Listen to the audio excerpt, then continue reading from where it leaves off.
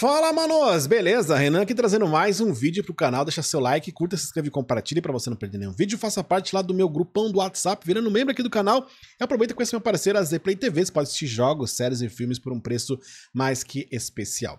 E, manos, a Season 5 saiu finalmente, como a gente tinha falado para vocês, sem o update, obviamente, mas foi considerado e é considerado com forma, assim, absoluta de certeza a pior Season de todos os tempos. Porque a Konami não trouxe nada, velho. Sabe o que, é? Nada. A Konami só atualizou a capa de Season 4 para Season 5. Mas nada, não teve um update, não teve uma adição, não teve nada, cara.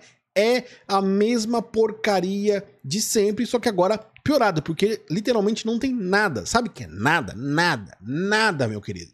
Bizarro o que a Konami fez nessa Season 5, pura preguiça, sei lá como se chama isso. Mas é nojento o que essa empresa japonesa faz com os seus usuários, cara. Lançar uma season nova que não tem absolutamente nada. Nem trailer, porque toda season tem um trailer da season nova. Nem trailer, nem um trailer, um teaser de 30 segundos eles fizeram para essa season 5. É bizarro o que esses japoneses vão fazendo. Japoneses malditos. Bom, o lado positivo disso tudo é que a season vai durar basicamente um mês, ou seja, no dia 6, no dia 11 de abril já vai começar a próxima season, que é a season 6 do eFootball uh, 2024, e a gente espera que, pelo amor de Deus, Konami, lança nesse dia, nessa próxima season aí, o update 3.4 que a gente tanto espera, que é aquele ajuste grande de jogabilidade, a volta do Palmeiras, a saída do Pumas, entre outras coisas que eles devem trazer uh, dessa, dessa atualização.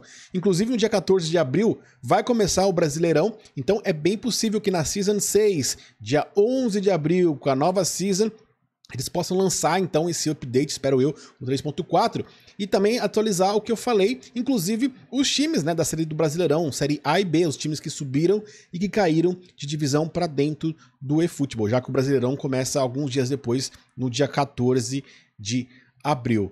Mas, cara, é isso, bizarro, bizarro e bizarro o quanto essa season não trouxe nem sequer um update. A gente estava na espera, né, para vir pelo menos o 3.4, que ia dar um up aí no jogo, trazendo um ajuste de jogabilidade, trazendo um pouco mais de conteúdo, enfim. É final de, de ano fiscal da Konami, né, dia 31 agora, dia 30 de março, no caso, termina o ano fiscal da Konami e dia 1 de abril começa um novo ano fiscal, então a gente poderia achar que a Konami já ia lançar alguma coisa interessante para terminar o ano fiscal lá em cima, mas não, eles vão terminar o ano fiscal lá embaixo com certeza. E aí faria sentido também lançar no começo de abril, porque daí começa o novo ano fiscal com um up lá em cima. Então, assim, são estratégias que realmente eu não consigo entender e concordar da empresa japonesa. Mas aí, Season 5 está disponível, jogue, se divirta, seja muito feliz, inscreva no canal, um grande abraço, é nóis, tamo junto, ó!